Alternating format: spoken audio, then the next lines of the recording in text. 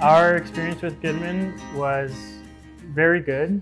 Uh, for our wedding, we everything went very smoothly, from you know the staff to the catering, and everything felt exactly like how we wanted it to go for our wedding. Made Goodman very special to us, and uh, we were glad to have it as part of our wedding. It was a super easy and like um, very straightforward process, um, and everyone was very friendly and helpful, and I just, just like everything I could have wanted from our wedding.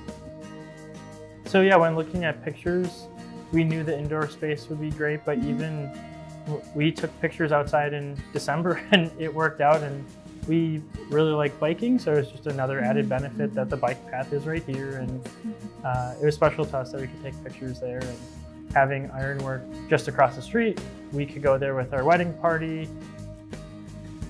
We wanted our dog involved just to be there for the ceremony. Our event coordinator was right away like, oh yeah, no problem, you know, just obviously don't have them there for the reception with Yeah. the food and stuff. and we were like, oh, of course, but we just wanted her to be part of, um, you know, walking down the aisle and taking pictures with her. So it was really special that Goodman, again, very accommodating and about all of that, and you know, was really easy to work with.